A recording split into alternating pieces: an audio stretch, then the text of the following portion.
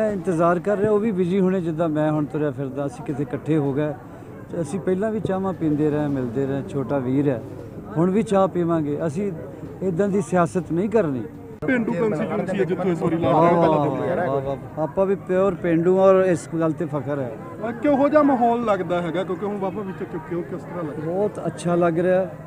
ਡੇ ਬਾਈ ਡੇ ਲੋਕਾਂ ਨੂੰ ਲੋਕਾਂ ਦਾ ਸੁਭਾਅ ਮੈਂ ਜਾਣ ਰਿਹਾ। ਮੈਨੂੰ ਖੈਰ ਪਤਾ ਸੀ। ਪਹਿਲਾਂ ਗਾਗੂ ਕੇ ਚਲ ਜਾਂਦਾ ਸੀ ਲੋਕਾਂ ਨੂੰ ਮੇਰੇ ਬਾਰੇ ਨਹੀਂ ਸੀ ਪਤਾ। ਜਿਵੇਂ ਜਿਵੇਂ ਪਤਾ ਲੱਗ ਰਿਹਾ ਉਹਨਾਂ ਨੂੰ ਲੱਗ ਰਿਹਾ ਯਾਰ ਇਹ ਸਾਡਾ ਆਪਣਾ ਹੀ ਭਰਾ ਸਾਡਾ ਆਪਣਾ ਵੀਰਾ ਆ ਸਾਡਾ ਆਪਣਾ ਬਾਈ ਆ ਇਹ ਕੋਈ ਏਡੀ ਗੱਲ ਨਹੀਂ। ਓਪਰਾਪਨ ਦੂਰ ਹੋ ਰਿਹਾ ਕਲੋਜ਼ਨੈਸ ਆ ਰਹੀ ਹੈ ਔਰ ਰਿਸ਼ਤੇ ਪੀੜੇ ਹੋ ਰਹੇ ਆ ਪਕੜ ਵੱਧ ਰਹੀ ਹੈ।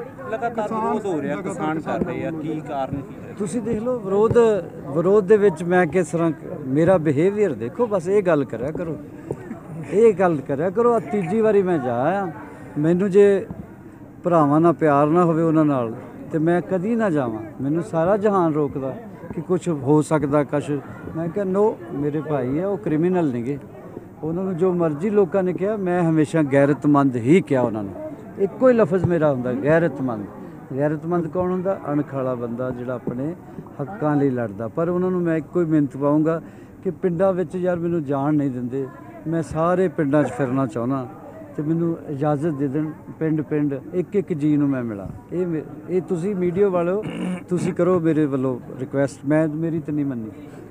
ਕਰਮਜੀਤ ਅਨਮੋਲ ਨੇ ਮੁਕਾਬਲੇ 'ਚ ਕਹਿੰਦੇ ਇੱਕ ਦਿਨ ਚਾਹ ਪੀਣੀ ਆ ਹੰਸਰਾਜ ਹੰਸੋਰਾ ਨਾਲ ਬੈਠ ਹਾਂ ਕੇ ਮੈਂ ਇੰਤਜ਼ਾਰ ਕਰ ਰਿਹਾ ਉਹ ਵੀ ਬਿਜ਼ੀ ਹੋਣੇ ਜਿੱਦਾਂ ਮੈਂ ਹੁਣ ਤੁਰਿਆ ਫਿਰਦਾ ਅਸੀਂ ਕਿਤੇ ਇਕੱਠੇ ਹੋ ਗਏ। ਅਸੀਂ ਪਹਿਲਾਂ ਵੀ ਚਾਹਾਂ ਪੀਂਦੇ ਰਹੇ ਮਿਲਦੇ ਰਹੇ ਛੋਟਾ ਵੀਰ ਹੈ। ਹੁਣ ਵੀ ਚਾਹ ਪੀਵਾਂਗੇ। ਅਸੀਂ ਇਦਾਂ ਦੀ ਸਿਆਸਤ ਨਹੀਂ ਕਰਨੀ ਕਿ ਐਵੇਂ ਨਫ਼ਰਤ ਭਰੀ ਜੀ। ਪਿਆਰ ਨਾਲ ਉਹ ਕੀ ਕਰ ਸਕਦੇ ਉਹ ਦੱਸਣਗੇ। ਮੈਂ ਕੀ ਕਰ ਸਕਦਾ ਮੈਂ ਦੱਸਾਂਗਾ। ਜਿਹੜਾ ਕੋਈ ਪਹਿਲਾ ਐਮਪੀ ਤੁਸੀਂ ਚੁਣਿਆ ਉਹ ਦੱਸੇਗਾ। ਫਿਰ ਲੋਕੀ ਦੱਸਣਗੇ।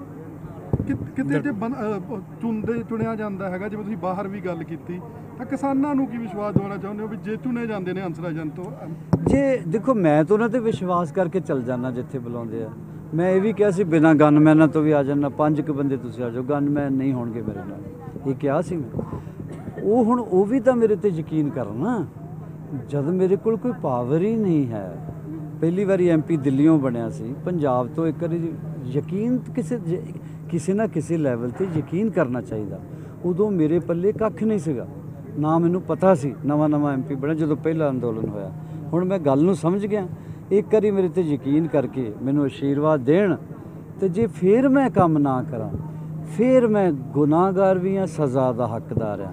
ਜਦ ਮੇਰੀ ਪਰਫਾਰਮੈਂਸ ਹੀ ਨਹੀਂ ਦੇਖੀ ਤਾਂ ਫਿਰ ਉਸ ਤੋਂ ਪਹਿਲਾਂ ਹੀ ਕਹੀ ਜਾਓ ਖਰੇ ਨੇ ਕਰਨਾ ਕਿ ਨਹੀਂ ਕਰਨਾ ਖਰੇ ਲਾਸਟ ਨੇ ਲਾਸਟ ਗੱਲ ਕਿਤੇ ਯੁਵਰਾਜ ਹੋਰੀ ਦਾ ਫੈਮਿਲੀ ਵੀ ਕਹਿੰਦੀ ਹੈ ਕਿ ਔਖੀ ਕੰਸਟੀਟਿਊਂਸੀ ਹੈ ਸਿੱਧਾ ਜਾ ਕੇ ਵਿੱਚ ਵੜ ਜੰਨੇ ਹੋ ਕਿਸਾਨਾਂ ਦੇ ਉਹ ਬੱਚੇ ਮੇਰੇ ਬਹੁਤ ਘਬਰਾ ਜਾਂਦੇ ਮੇਰੇ ਦੋਸਤ ਵੀ ਵੈਲ ਵਿਸ਼ਰ ਵੀ ਮੇਰੇ ਨਾਲ ਦੇ ਵੀ ਲੇਕਿਨ ਮੈਨੂੰ ਕਦੀ ਵੀ ਖੌਫ ਨਹੀਂ ਲੱਗਾ। ਉਹਦੇ ਕਬਜ਼ਾ ਹੈ ਕੁਦਰਤ 'ਚ ਜਾਨ ਆ। ਬੰਦੇ ਤੇ ਮਰੋੜ ਲੱਗ ਕੇ ਵੀ ਮਰ ਜਾਂਦੇ ਯਾਰ ਐਡੀ ਕਿਹੜੀ ਗੱਲ ਆ?